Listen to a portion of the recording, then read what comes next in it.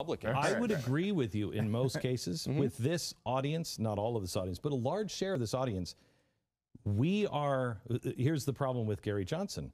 Uh, Gary Johnson uh, came in and uh, he said, or was on, and he said twice, and then uh, the running mate Weld said the same thing that we said, how can you have a law, uh, you know, that a photographer has to take a picture or wedding cake? It, it doesn't make any sense. You can't be for ultimate freedom and maximum personal responsibility and also say, oh, and the government should regulate that. As as Penn Jillette and I talked about, Right. you know, you should be able to have your business do anything that you want. And I have a reason to go, I'm never going to go there. I love Penn Jillette. so this is going to be hard for him to watch or listen to. Um, that's right to a point. There's a, a, I can get in a long discussion of Anglo American contract law and stuff like that, but that's probably really boring for your listeners. the point is that there's this tradition of something being open to the public. A movie theater is open to the public. Uh, a drugstore is open to the public. And open to the public means if you're a person who's not belligerent and you come in, I sell you the stuff off of my shelves. I don't get to say, hey, you can't buy the candy bar because you're white. Sorry, leave. That runs through our legal history. There's also a long tradition in America, which is really different, of a, a strong and vibrant First Amendment, both the free exercise clause and the free speech clauses, that say I get to say whatever I want. The government can't stop me. Other people can disagree. And I get to exercise my religion as I choose, as long as I don't violate laws of general applicability. And there can be no compelled speech. And that's big. You can't make me say something I don't want to say as the government. The tension comes when you get in the middle. Because what are we talking about when we talk about cakes? Because it's a cake issue and it's a hypothetical and it's weird, but up in the Northwest, it's not hypothetical. Are we talking about, hey, it's a Costco sheet cake? I just want to buy a cake. In which case, yeah, you have to sell that cake to everybody. Off the shelf. If it's, I want you to write, I want you to express, I want you to put Use words onto the cake, then it's different. And then photography gets into a weird spot because you know there- art. It's some of art. It's art, some of it's documentary. You know, mm-hmm. like art, art is the artist's message in there. These are hard issues. There isn't one right answer. It's not black and white. A lot of life isn't black and white. And what I've been trying to do It's amazing. is get libertarians to focus on how many areas do we agree in? Yeah. How many areas do we agree in? If this is a point of contention where you are a little farther on the free speech side than the Costco sheet cake side, that's okay because we agree on so much else. So I And I- agree. I agree let's have a beer and talk about this, but let's work together I agree on with all the other stuff. I agree with you. It, it just to me it seems like a a very um, a very easy um, call. I have I I don't for instance, you don't have a right to come in and to me to come in and say, "Oh, well, I'm just not serving your kind." So you get out.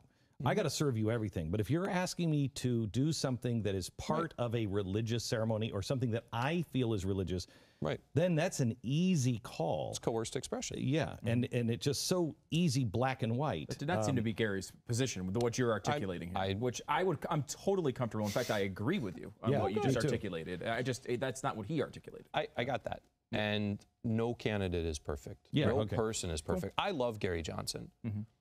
He's strong in some areas, he's weak in others. As we all Austin. Petersen So, is yeah. strong in some areas and weak in others. weak in others. So and the delegates make those choices. Right. You know, we're the you want to talk about big differences between the Libertarian Party and the old parties? We had a convention in Orlando where a thousand delegates from across the country, selected by state Libertarian parties, came into a room.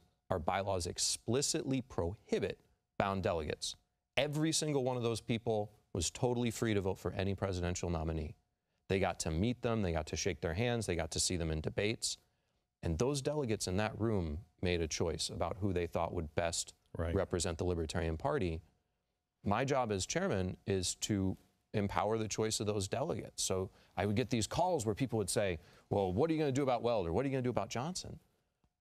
The delegates decide, Yeah, and yeah. I don't decide. No, I know that. It's not, it's, it's, no, I agree with you. It's not you, it's not the party. Now, the question is, how, how does, because to me, this looks like such an easy place to go and unite the country. Mm-hmm. Because I, I really believe I can live next to Ben and Jerry for the rest of my life, and oh, they can be They live here? No. I thought they were up in Vermont. yeah, but I could live next to them for the rest of my life, and we'd never have we'd have be, we'd be perfectly fine neighbors. Right. It's only when I try to affect them or their business or what they believe, or they try to do it to me, Right. um, coercively through governments.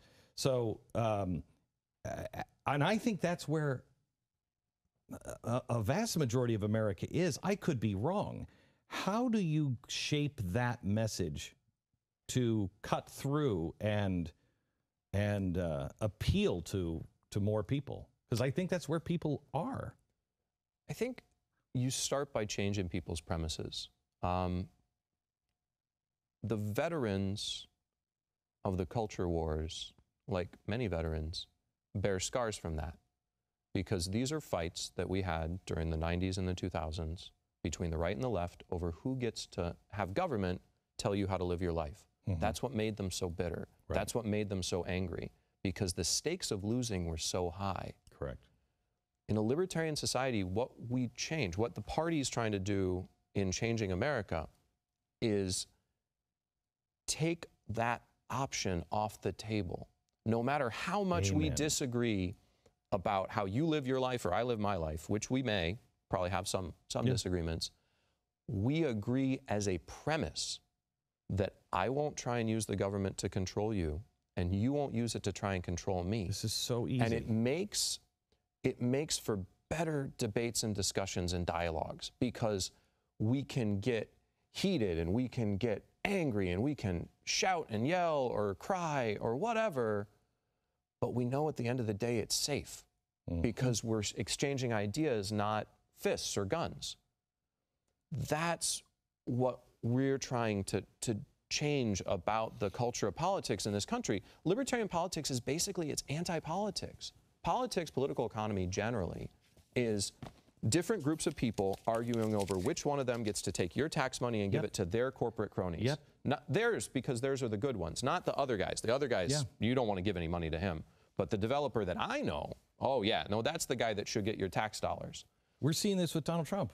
The Right. right was against the stimulus package Until Now- he did it. Until he's got a bigger stimulus package and they're for it. We're fundamentally different because we're the only political party in the country that's dedicated to the idea that you have a right to pursue happiness any way you choose, as long as you don't hurt other people and you don't take their stuff. We're fighting to make it so the government stops taking stuff away from you and stops controlling your life. Okay, so let's get into that. When we come Sure. back, I want to, and you're going to be with me on the Blaze, so we'll maybe spend another 10 minutes, and then tonight, uh, uh, tonight at five o'clock, we'll spend a full hour. And I really want to concentrate on that because there's a new study out, and this is of conservatives, conservative millennials. 40, uh, 51% say that the government, uh, that the the First Amendment is sacrosanct, that you have a right to speech uh, and right to free press. 49% say that that is sacrosanct, but the government has to decide what speech is okay. I mean, it's crazy. And those conservatives that are saying that. How do we change that?